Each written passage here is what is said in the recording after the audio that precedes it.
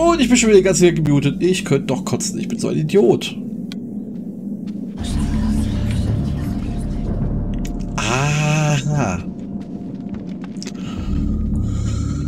Ah, Das war jetzt von der Sequenz an, ne? Von der Sequenz gegen den, äh, mit dem Kustor. Ja, wir haben gesehen, der Kustor ist weg. Der Lichtball heißt nichts gut, das hatte ich noch gesagt. Ähm, auf dem Weg habe ich nicht so viel erzählt. Nur ein bisschen blöd rumgeschwafelt.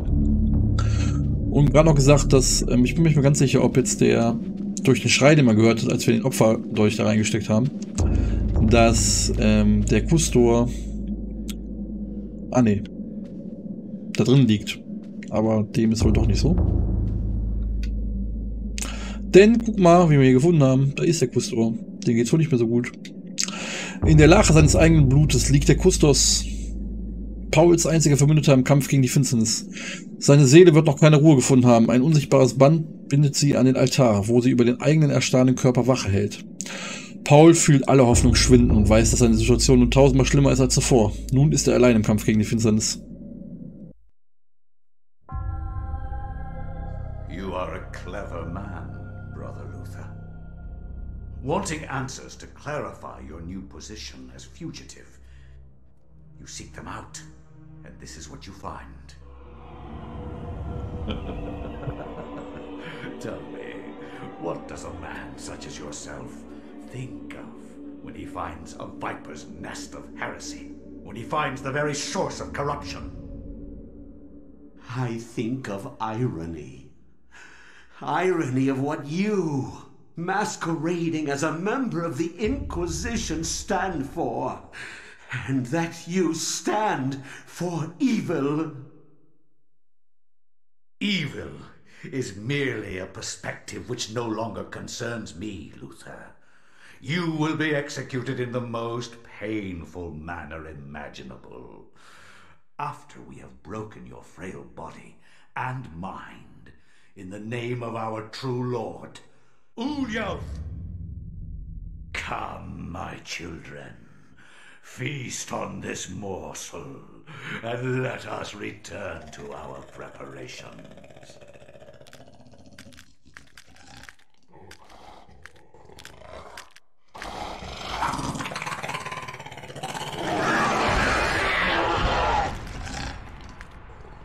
Noch, den noch schön den Kopf tätschelt. Aber das lassen wir nicht zu.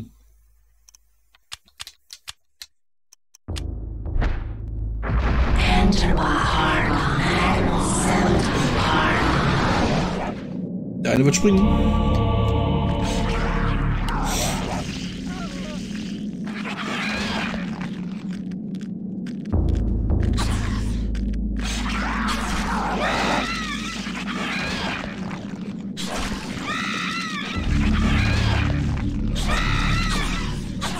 Kleinen dreckigen Drecksviechers.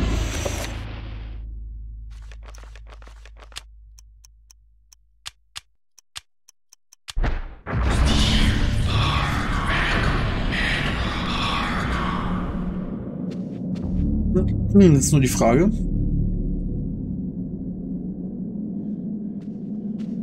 wo es denn weitergeht. Meines Erachtens haben wir doch... Wir waren da, wir sind da durch, wir waren da drin, oder? Warte mal. Was hatten wir noch für einen Raum?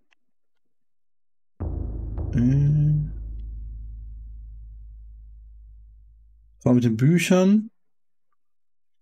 Und hinter dem Buchding. Und dann müssen wir es doch wieder... Mhm.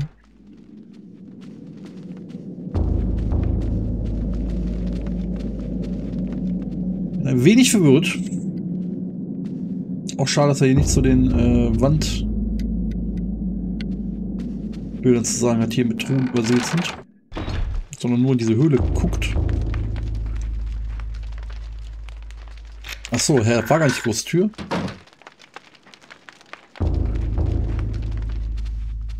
War ich vorher an der Tür überhaupt? An der Tür?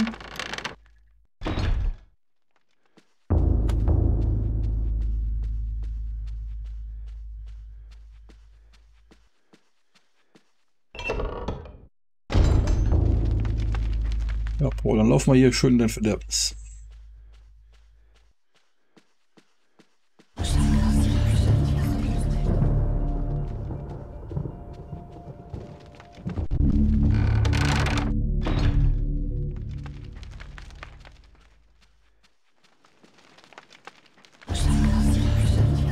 Diese Tür fällt durch besondere Verzierungen auf, die den anderen Türen in den Katakomben fehlen. Paul spürt, dass sich eine böse Macht hinter dieser Tür verbergen muss und fragt sich, ob die Zeremonie, von der der Mönch gesprochen hat, hinter diesen Wänden abgehalten wird. Soll Paul eintreten und der Heresie ein Ende bereiten? Oh.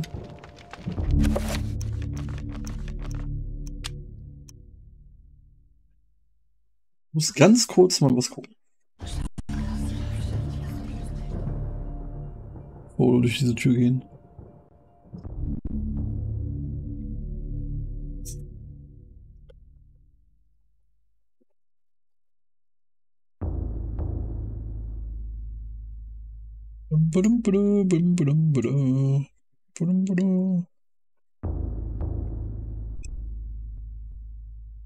Okay.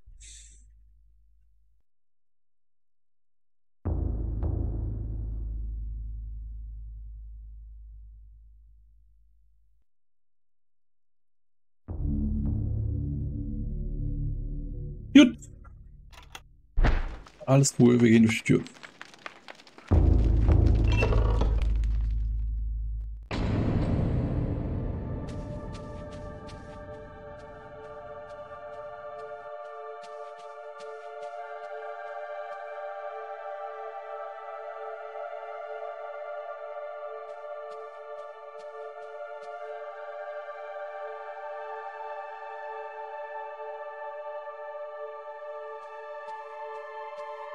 Ganz coole Bilder an den Wänden, dass man sich die nicht in Ruhe angucken kann.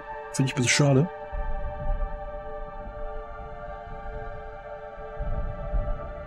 Ich glaube, zeigen ganz schön, was Pius schon alles gemacht hat. Äh, Philipp Augustin wissen wir nicht, weil das ist äh, scheiße.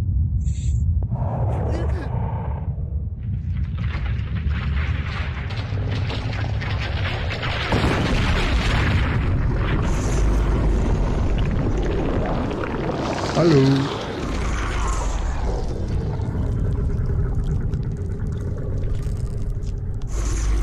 This is the one that seeks to do combat with me.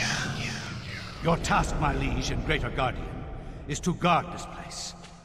Do not worry about this worm. His kind yelps in terror at the sight Yes! We will dispose of him ourselves.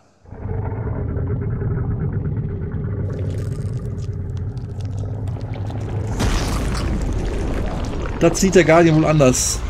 Tja, schade, Paul.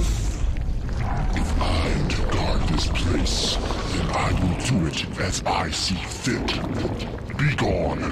Leave me. And I will guard the artifact as you have instructed.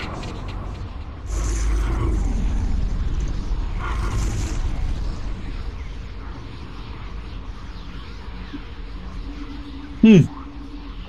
Ziemlich unrühmiges, äh, unruhmreiches Ende für den Paul. Aber das sind wir gewohnt.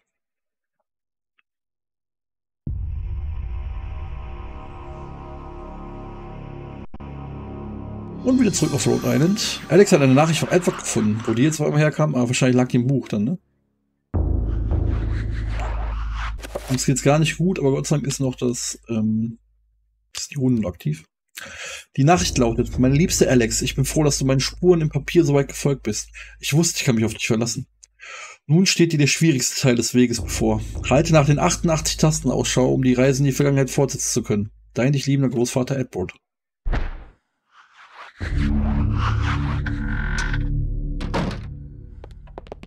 80 Tasten? Was soll denn die 88 Tasten haben?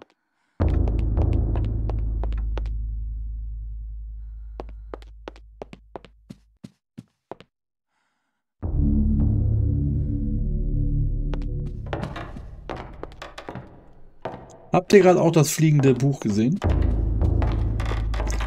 Das ist auch ein Special Setting-Effekt. Hör doch mal auf mit dem Laufen und dem Klopfen, ey. Das ist echt.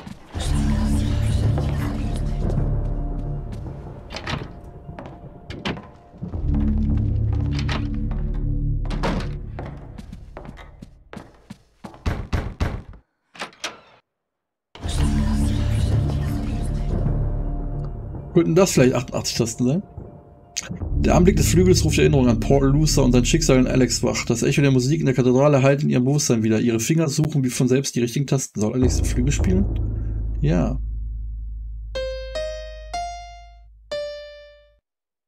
Das war falsch.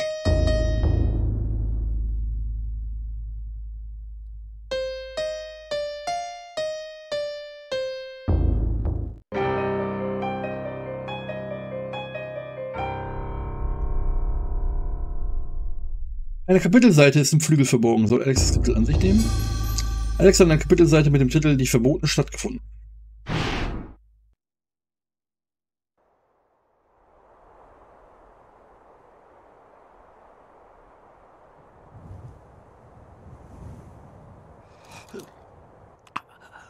Who are you? I am your lord and conqueror. What manner of forsaken being are you?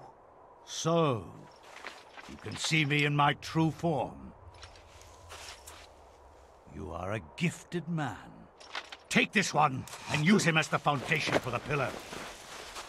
He is special and should be given a special place among the suffering.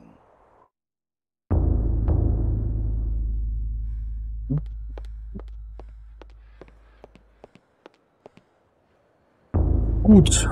Sollen wir jetzt noch das Intro des Kapitels angucken und dann mache ich Feierabend? Oder heben wir uns das fürs nächste Mal auf? Na, ich glaube, wir machen nächstes Mal wieder einen clean Start ins Kapitel rein.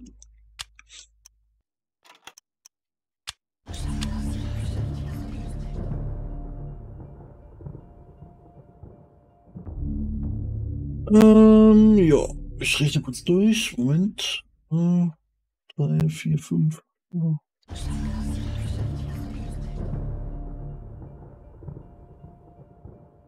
Morgen noch? Ähm. Montag, Dienstag, Mittwoch.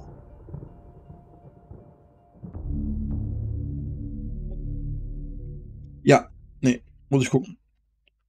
Vielleicht fällt nächste Woche Donnerstag eine Folge aus oder ich muss echt direkt nach der Aufnahme, muss ich ein bisschen früher anfangen und dann nach der Aufnahme direkt äh, schneiden. All das äh, werden wir dann mal nächste Woche sehen. Ich bedanke mich bei euch fürs Zuschauen bis hierhin und wünsche euch noch einen schönen Tag. Ich war euer Es war mir eine Ehre und sage ciao, ciao, bis zum nächsten Mal.